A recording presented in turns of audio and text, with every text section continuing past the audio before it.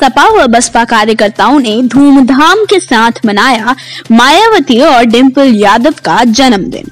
जहांगीराबाद नगर में बसपा सपा कार्यकर्ताओं ने अलग ही धूमधाम से बसपा सुप्रीमो मायावती का तिरसठवा और सपा सुप्रीमो अखिलेश यादव की पत्नी सांसद डिम्पल यादव का जन्मदिन मनाया।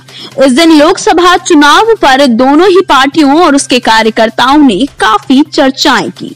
नगर में बसपा नेता कुंवर इरफान अहमद गुड्डू के निवास पर बसपा सुप्रीमो मायावती के जन्मदिन का केक काटा गया और साथ में लोकसभा चुनाव 2019 पर भी चर्चा की गई।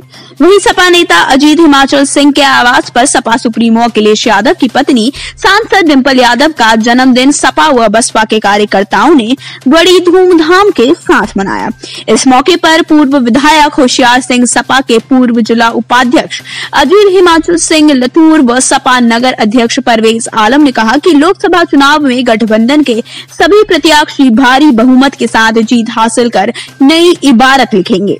उन्होंने कहा कि सपा व बसपा के गठबंधन से भाजपा की नींद उड़ गई है और लोकसभा चुनाव में भाजपा का सुपड़ा साफ़ होने जा रहा है।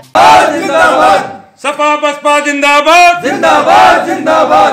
से पहले तो हमने देश की प्रदेश की पूर्व मुख्यमंत्री मान्य मायावती का जन्मदिन था उनको उनका तेईसवा जन्मदिन था उनको सामने बधाई दी है।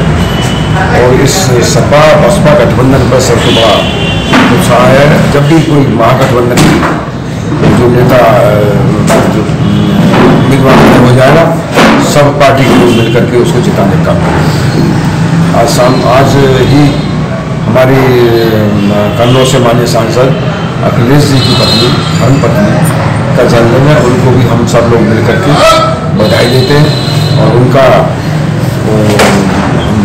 भगवान से प्रार्थना करते हैं, वो लंबी उम्र तक इस देश का नेतृत्व करते रहे। बुलंदशहर से कैमरामैन मोहित लोधी के साथ वसीम अहमद सिद्दीकी की रिपोर्ट।